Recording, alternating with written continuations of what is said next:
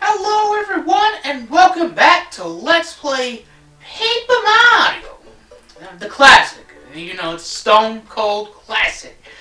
Last time, either we left off at the end of Chapter 6, or we left off finishing off the Koopa stuff, depending on whether you chose to watch Episode 14 or the first bonus video. And in today's episode, Episode 15, we start with speaking to Merlon. But the problem with Merlon is that every time he talks, my finger just reflexively goes to the beat button. But we have a new face here. Say hello to the Ninji, an enemy that originated from Super Mario Bros. 2 USA. Apparently, he hails from Starborn Valley in the Shiver region, a chill. I like how he says a chill place. Probably should have said a chilly place, far to the north, at the very end of the earth. And apparently, uh, Merle is Merlon's son. I don't know when it's mentioned. Oh, yeah, that's right.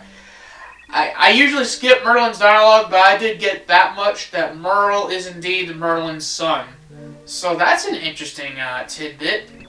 So, something about Merlon is talking about something about we need to find a pipe in the sewers in order to be able to access uh, the Shiver region, as it were. But here's the thing. We kind of are already halfway there, thanks to doing all the extra stuff, not only towards the end of episode 14, but also during the bonus video with Koopa Koot and all that stuff, because when you do the Koopa Koot favors after Chapter 6, ideally, because that is when you can actually finish off Koopa Koot, uh, there are usually a lot of extra things you can do adjacent to the Koopa Koot favors, so as a result, you'll probably have made a little bit of progress here. Not only that, but even if you're not doing Koopa Koot stuff, when we came here to get the Ultra Boots, I was able to knock out some progress by getting the hidden blocks out of the way. So we enter the door which can only be opened after you talk to the Ninji. We enter this very frozen area and say hello to the second to last super block, or upgrade block, whatever you want to call it. This is a very good opportunity. We only have two party members left to upgrade. I recommend upgrading Kooper. There is an upgrade block to be found in Chapter 7 proper, but it's a it's closer to the midway point of the chapter rather than early on. So this one, you want this is your last chance, honestly, to upgrade Kooper just in time for him to learn the move Power Shell. Sorry, Fire Shell. Is it Fire Shell? Yes, Fire Shell. For five flower points, it will deal a around six damage to all enemies on the ground. So that's about equal to Bombette's single upgrade power bomb, but one flower point cheaper. However, since it's a fire move, it will deal extra damage to ice enemies. So, because Chapter 7, a Star Spirit on ice. And yes, say hello to Shiver City, if I'm not mistaken, it's what it's called. And we have access to quite a few uh, of the usual stuff in towns. We have an item shop over here. Let's see what it's selling. A Dizzy Dial for 15 coins. Huh. A shooting star for 30 coins is a solid deal. Snowman dolls for 8 coins. I'm going to be honest with you guys. I think the developers just put the snowman doll here for decoration. They don't expect you to buy it. 40 coins for a Life Shroom is solid. 20 coins for the 10 HP items. That's also just alright.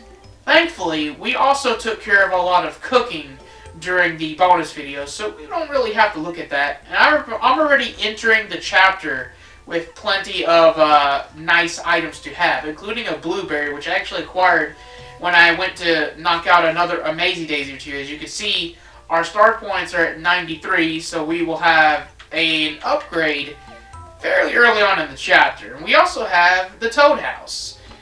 Now, I do want to point out that there is something special about this Toad House, but that's not going to be relevant right now. It should be relevant at the end of this episode, because as usual, uh, I will be doing this chapter hopefully in two episodes, it shouldn't have to be split into three.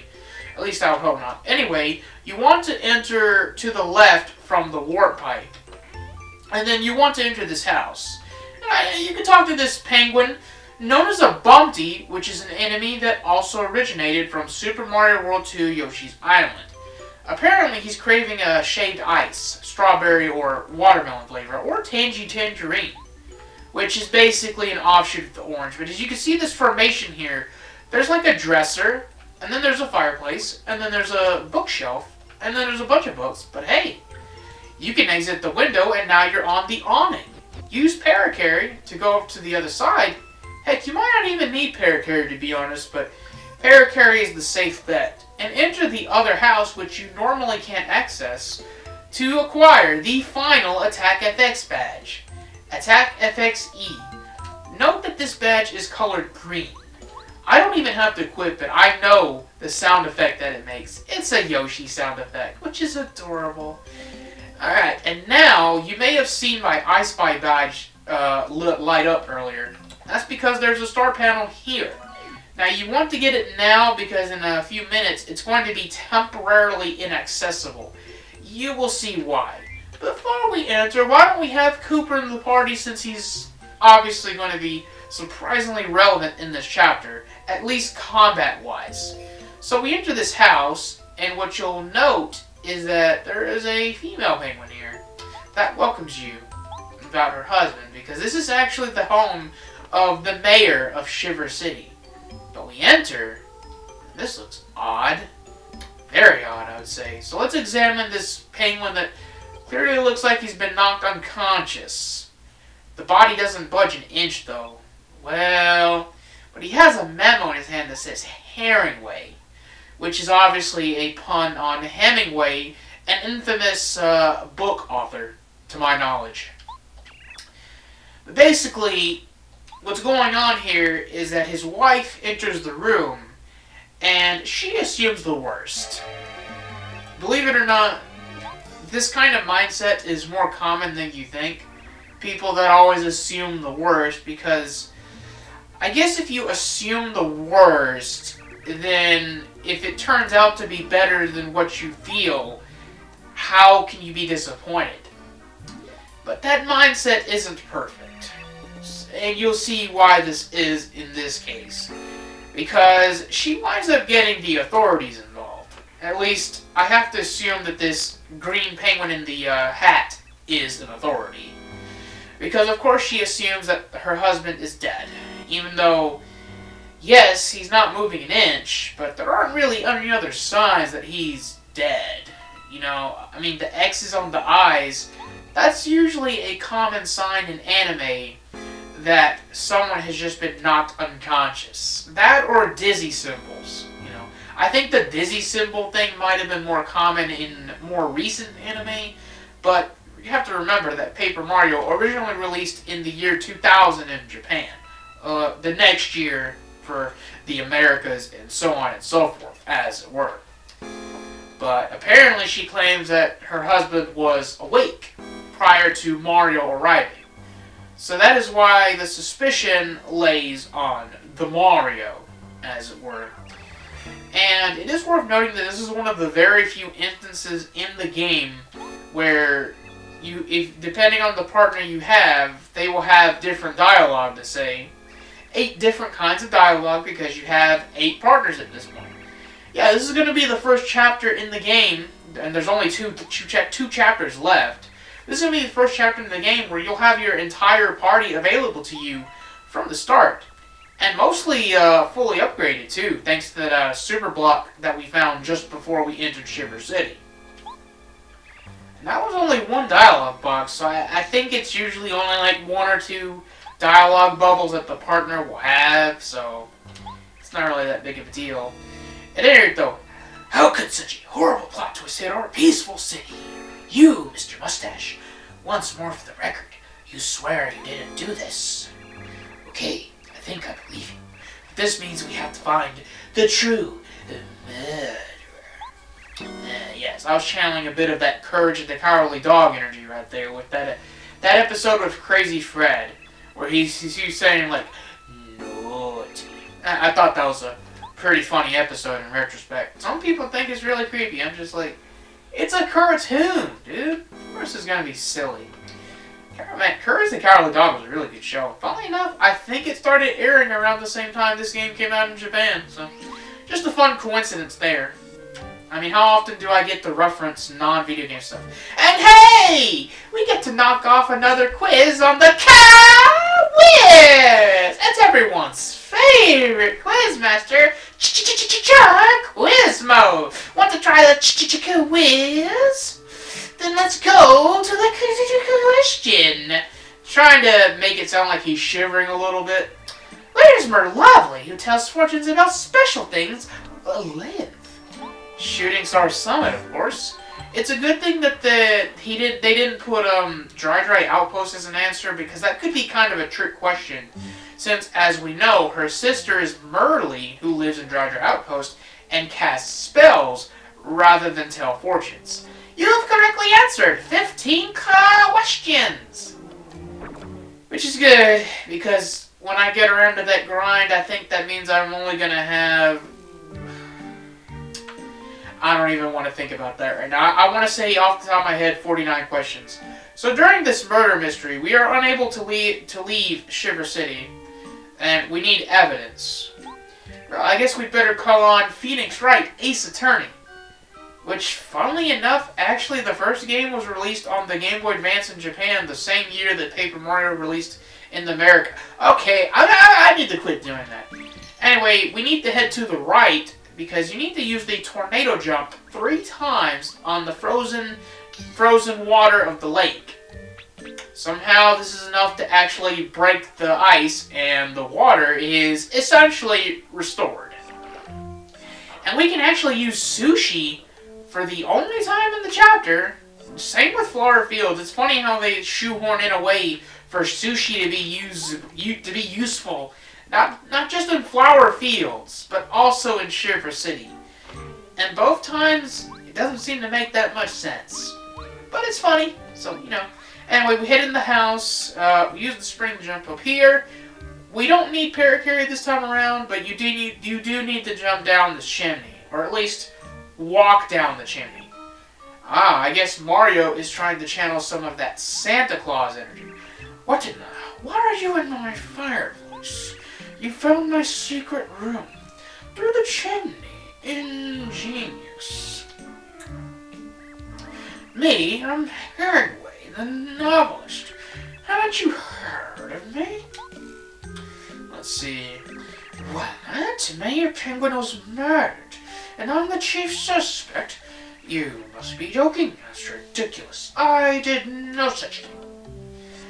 Yeah, it's because there's a note that has his name on it, so... And eh, we just gotta go through this whole rigmarole. Thankfully it doesn't take that long. I know, I know some people enjoy this part because it's just, it's so silly, you know, the whole penguin murder mystery thing. And what really makes it funny is how we're gonna find out the conclusion of this. Also, something I always like doing ever since the first time I played this game, whenever there's an opportunity for you to outrun the NPC to the destination, I always try to make it like a race. I did this with Merlon in the start, and I'm doing it now with Herringway. It's actually kind of funny. So, But I don't think it's possible in this case, because Herringway just gets so far ahead of you, it's actually kind of crazy. Oh, you again. Have you come up with anything? Hmm? Say, isn't that penguin behind you the mystery novel writer named Herringway? What, what? Mayor Penguin was clutching a piece of paper that had Herringway written on it. Ah, if that were true, I most certainly would have... Oh. Huh, he definitely does appear to be holding a piece of paper. Yes, of course, it's a message. With his last breath, the mayor told us the murderer's identity. So, Mr. Herringway, you cold-hearted murderer. It all makes sense now. No wonder your novels are so suspenseful. You live out your own plots. Dear man, do you have any idea how ridiculous you sound? You actually think I would do this to the mayor? He's a great friend of mine. Ah, yes, yes, you were good friends. Aha, but that was just a cover, so that no one would suspect you of this heinous crime. That's it, isn't it? I've solved this crafty mystery. Oh, come on, really, you simple, simple penguin. I would never be so predictable. Besides, I'm completely innocent. I've been working in my house on a new novel for weeks. I didn't have time to sneak over here to kill Mayor Penguin. And uh, the wife is still pointing flippers at Mario, but when has Mario ever murdered anyone or anything? Not counting all the Goombas and enemies you have to jump on in Super Mario Brothers. Not counting all the enemies we had to defeat along the way to this point. Or in Super Mario RPG, which did release before Paper Mario. Or Super Mario Brothers 2 or Super Mario Brothers 3, you you get the idea. And before you say Yoshi's Island, technically, while Baby, Baby Mario was riding on Yoshi, it's actually very rare that Baby Mario himself was able to defeat any enemies. Usually that was Yoshi. So in other words, they were in cahoots in that game, which is a big difference when you have an accomplice, as it were. So yeah, the mayor's just fine. Yeah, it was all it was all a big misunderstanding. He just reached up, trying to get a present for his friend Herringway.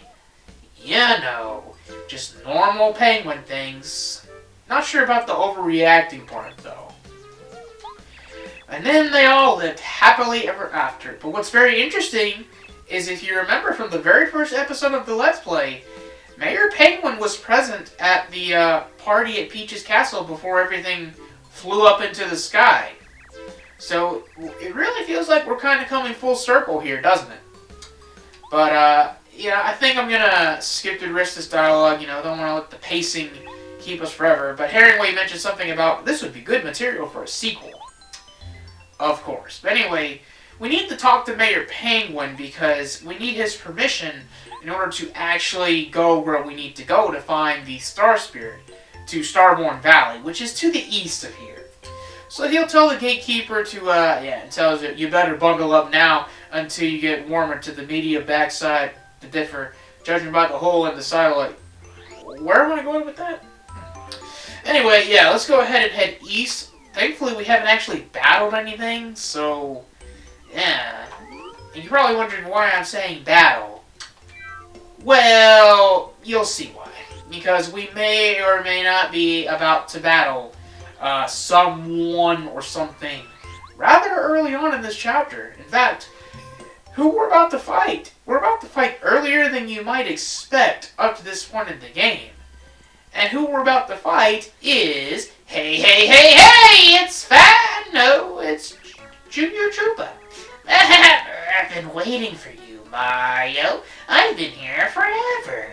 I was getting desperate. I thought I was gonna freeze. This place is freezing and cold and nasty and icy. I hate it. I can't take it anymore. I gotta get out of here. I'm going to beat you up in record time and head back to some place warm. You ready, Ice Boy? Alright, so say hello to Junior Troop, uh, what is this, the fifth fight? The sixth fight? You kind of lose count by this point. But, uh, yeah, Junior Troop is changing things up and taking a page out of the Magic Koopa's book for a final exam, as it were. So as usual, let's take advantage of our quick change badge and let's tattle Junior Troopa. It's Junior Troopa. I'm stunned. Really? This guy just will not quit. 50 HP, 8 attack, and only 1 defense. Now, it is worth noting that the last time we fought him, he got knocked down to 20, but technically his max HP was still 40, which is interesting. So now, yeah, going from 20 to 50 is a big step up. But let's look at the positives. He's no longer in the air and he doesn't have a spike on his head. Somehow, I think he may have overlooked that sort of thing. Now, he has a very high attack stat of 8. So you want to take advantage.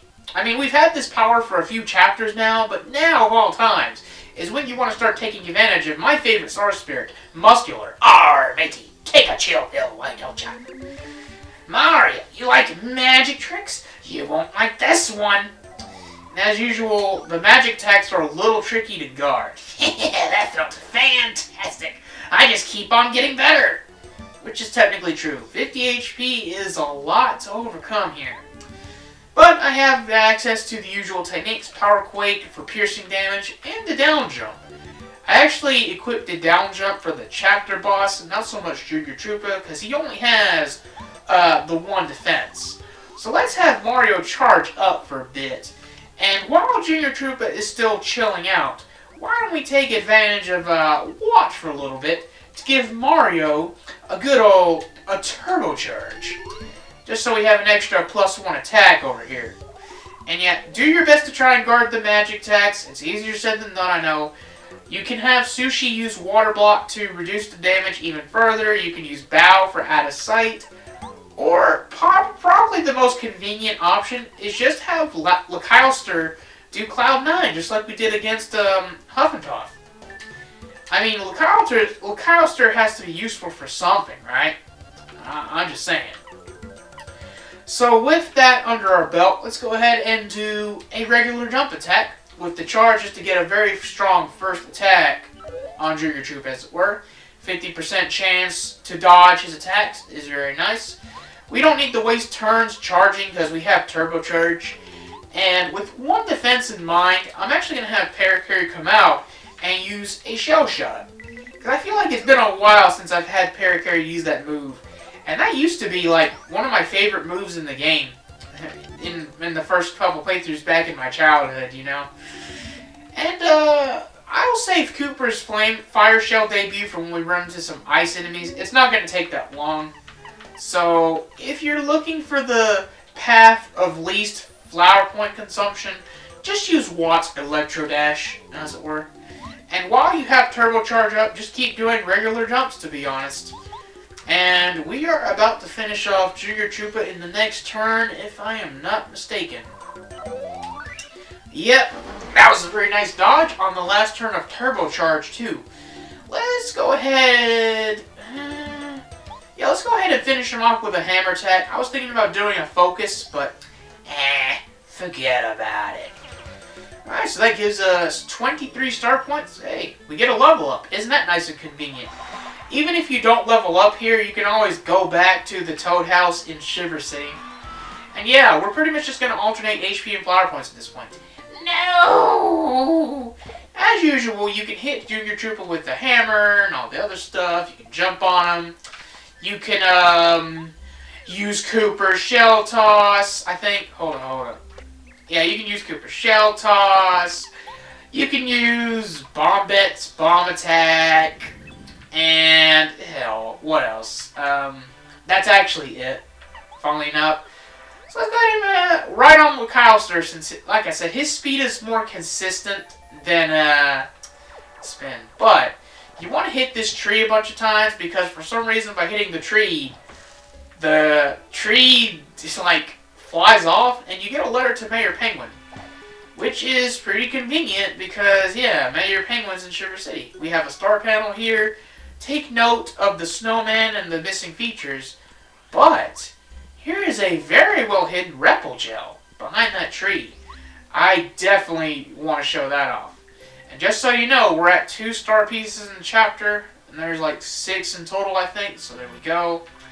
Alright, before we move on, let's have Kooper, because, lo and behold, we have a new variant of uh, Piranha Plant. Oh boy, well, this, is, this is actually quite the whopper here. Hold up. Okay. So first, let's tackle an enemy called the Frost Piranha. This is a Frost Piranha. So, these guys have 10 HP and 4 attack power. Now, I know what you might be thinking. Wait, so the Frost Piranhas have 2 less HP than the Putrid Piranhas? Yes, but the Frost Piranhas also have more attack, and their Breath attack, instead of poisoning you, will freeze you in place, meaning you won't be able to attack, as it were. So given the situation, I think this is actually a great time to give our new timeout timeout ability a try. because even if we only stop like two or three of these enemies, uh, that'll still help us out tremendously, I must say. So, yeah, here's hoping. Cross your fingers. Oh wow, it actually worked on all of them. Yeah, they're knocked out for five turns. Holy cow. Uh, so let me just crack my fingers. I guess we can take our sweet time, ladies and gentlemen. Uh, let's go ahead and title this enemy uh, a Gulpit. Whoa, Gulpits look pretty burly, don't they? Yes, they do. Now, these guys do have 12 HP. Now, the attack power is a little bit disingenuous because Goombario was listed as 2. That's because Gulpits have like three different types of damage output. So you may have noticed the rocks in the background. Big rocks will deal 7 damage to you. The small rocks will deal 5 damage. When Gulpits run out of rocks to shoot at you, they will have a lick attack that only does 2 damage. It's actually pretty rare to see the lick attack because usually by the time they even get close to using up all the rocks, you will have most likely already won the fight, as it were. So, let's go ahead and focus to try and restore some of our star energy because I'm just going to have Kooper debut his new fantastic fire shell. Again, the base damage is 6, but when used on an ice enemy or a snowy enemy, uh, it'll deal an extra 2 damage, which is pretty good. And let's go ahead and finish off the rest of the enemies with a Power Quake. Yep, Perfecto Mundo. Unfortunately, due to my choice to grind out a few more Amazy Dayzees, it seems that the enemies for the remainder of the chapter, or at least at this point, are only going to give one star point each, which is probably fine. Yeah, I would say it's definitely, like, all good, you know, water under the bridge sort of thing. Uh, that should be it. That letter, that's actually the last letter in the game, if I'm not mistaken. So, let's just swap to Goombario for no particular reason, and... Turn back. Come no further. Turn away or I'll eat you. What? Do you think? Scary monster, aren't I? You know you want to run. What? You will regret this. So, let's this creature known only as Monstar. Uh, yeah. It looks really terrifying. And Goombario isn't able to give you the attack stat, but that doesn't matter. This thing only has 20 HP. We literally just fought a souped up Junior Troopa not even five minutes ago. So, I don't know what you guys are expecting here, but, um... Why don't we charge up our jump attack and see what kind of an attack Monstar is capable of here.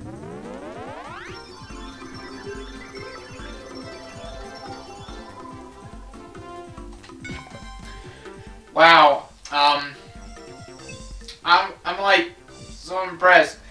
Monstar deals only one damage. The reason that no damage was taken even though I didn't block is because I had the insight to equip a Defend Plus. Which is also a very useful badge to equip for Junior Troopa, by the way, because it means that he can he can only deal 7 damage at most with a Defend Plus. If you're going up against enemies where you think blocking their attacks consistently is difficult, it may be better to opt for the single Defend Plus over the double damage dodge. So for the remainder of this chapter, I will be opting for the Defend Plus setup. Which also means you probably want to try and upgrade your HP a little bit more. Um, I have had playthroughs of Paper Mario where I opted to have like 10 more HP than whatever my current FP is. It's a little lopsided though. I'm, I'm not the biggest fan of that setup, I must admit. So yeah, with two Power Plus badges and charging up your jump a single time and Goombario or Lady Bow in your party uh, in the fight, you can defeat Monstar in one turn. They'll get, I mean, Monstar will get a chance to use one attack, but it turns out Monstar was just an illusion created by a bunch of Star Kids, as it were. Well, ain't that something? We're going to swap swap to Lekaiser to give him as much spotlight as possible, given that I really don't know and say hello to Merle. This is Merlon's son. And believe it or not, even though he's Merlon's son, I don't have the reflexive instinct to hold down the text skip button. But I may still blank on his text a little bit, so I do apologize in advance if you were trying to read his dialogue. Uh, I will say that Merle has a little bit more important information to divulge than his father does, who usually will just tell you what you probably already figured out for the most part. Ah, but actually, we do want to swap to Parakarry and talk to this green frozen toad over here, because it turns out this guy is Frosty, the uncle of uh, the green toad kid. I think he's the uncle of the green toad kid from Toad Town Station. From Little Dane T. and Mini T. Those nine little rascals. So this letter is continuing the chain, and Frost T. will give you a letter to take to Goompapa in Goomba Village. This will finally complete the letter chain, and you will get something for your trouble. Believe you me. So yeah, Merle apologized for the rude reception of the Star Kids. I mean, hey, it's a, it was a free, what, 13 star points? I mean, hey, gives more than the regular enemies do, so you can't complain too much, you know what I mean?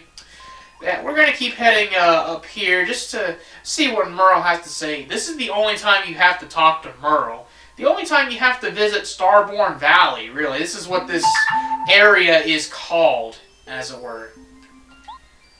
So, yeah, I mean, you really don't have to worry about that too much. So, yeah, he just tells you that this is Frozen, uh, this is Starborn Valley, because it is here that stars are born and raised before rising to the sky. But ever since Bowser stole the Star Rod, yeah, it's been kind of messy, you know. And it turns out the Ninji was sent by him. So he could coax Mario to come here. Ah, because he found out where the last Star Spirit is. Came to him in a dream. A vision, as it were. And this is where it gets a little weird. So yeah, the last Star Spirit is being held atop Shiver Mountain, which lies to the north. At the Crystal Palace. Okay? So, the Crystal Palace is going to be home to the, one of the hardest boss, the hard, one of the hardest mandatory bosses in the game. If you thought Huff N. Puff was a challenge, just you wait and see who is the owner of the Crystal Palace, because yeah, that's that might throw you for a loop if you're not prepared ahead of time. In the meantime, we received the scarf. Just an ordinary scarf seemingly, but it's been passed down through many generations. But uh, we have to use this and another item that was passed down in Shiver City. So we're gonna have to backtrack to Shiver City, Shiver City, but that's probably alright. Yeah, so we don't really need to hear much else. We know we need the scarf and we need an item from Shiver City, as it were and a small shrine somewhere along the path to the Crystal Palace. That the truth lies not only in the eyes, sometimes even walls may lie. So, basically, probably an invisible wall or something like that. You could take a nap at the Toad House here. It's kind of a bit excessive to have two Toad Houses uh, so close to one another, I think. Optionally, you can defeat the enemies again. They respawn after the uh, Monstar fight, but they give so little star points that I'm not really going to bother. Uh, let's try giving this snowman that doesn't have a scarf the scarf. Yeah, we'll just leave it there for now. We'll come back to that. Let's head through here and... Wow. We weren't gone that long, but it was long enough that Junior Troopa is now frozen solid. Well, we can't we can't bully him anymore, unfortunately. Oh well. But yeah, he's uh, stuck in ice. Who knows if he'll ever get uh, melted or escape from it. Uh, who could say, really? Let's go ahead and head back to Shiver City. If you didn't already get the star panel or the um, uh, the Attack FXE badge, now is a great time to do that. Uh, normally I like to end the episode by sleeping at the Toad House, but I actually want to do it now not just to recover our health and all that, but also I want to show off that by sleeping in this Toad House specifically, this is the only way to get the iced potato item. This is uh, pretty much the final item you can get for cooking tasty recipes. You do have to reach chapter 7 at least. And in order to get all the recipes, you will need at least two iced potatoes.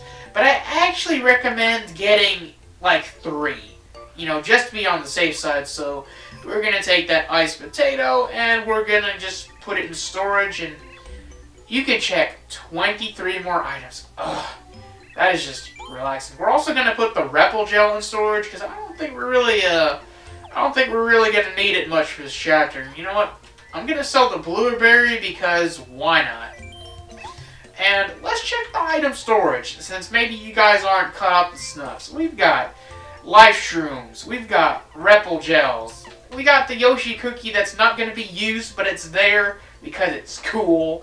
We've got Shooting Stars, ready, ready and waiting for Chapter 8, Ice Potato, we're to put those in storage to finish off the recipes, Jelly Ultra, Maple Syrup, Healthy Juice, restores 40 flower points, which is very good, and a deluxe feast.